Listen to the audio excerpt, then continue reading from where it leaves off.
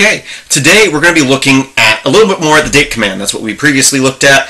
And um, what you can do is, last time we looked at, you know, if you type date, it gives you the date. I can do date plus percent capital Y, and that gives me the year, or H for the uh, hour.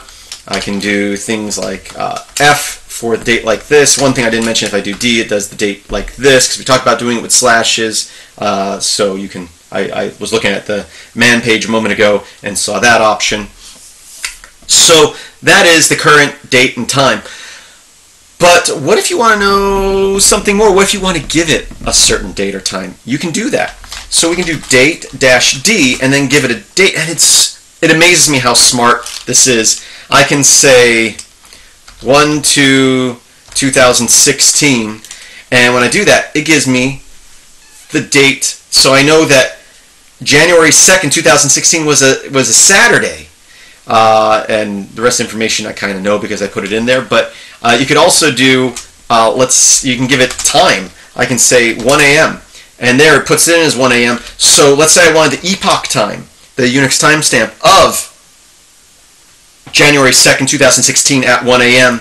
I can do this and it will output it as that. Or if I want to, well, this seems a little weird because you would just type that, but you can you can figure stuff out on date and time. And the epoch thing is, is also very useful if you're trying to calculate the time between two dates um, in certain manners. Uh, so, and I can say, you know, 12, like this, uh, and it tells me, it puts in that time, and it's so smart. Uh, I can also, let's see if I do Monday, Jan, oh, Monday, Jan, yeah, invalid. I was going to say a day of the week, but um, Jan 2nd, if I do that, invalid. There we go. So, so I can type the date different ways. You know, it's it's not perfect. You can't type it just any way, um, but it's very useful. And you can use this for certain things. For like I said, getting the epoch time. But let's say you want to know what a certain day of the week was for a certain date. Let's say I wanted to know um, what Christmas was uh, back in 2016. So there you go. I can see it's a Sunday, and I can do plus a capital A, or sorry, percent plus, no, no, plus percent capital A. Oh, it was a Sunday, or lowercase a if I wanted the abbreviated version. Okay, what was Christmas in 2017? It was a Monday. 2018 is going to be a Tuesday. I'm seeing a pattern here. Um, let's say we celebrate the 4th of July here in America, so I can say um, July 4th, 2016 was a Monday. What about July 4th, 2014?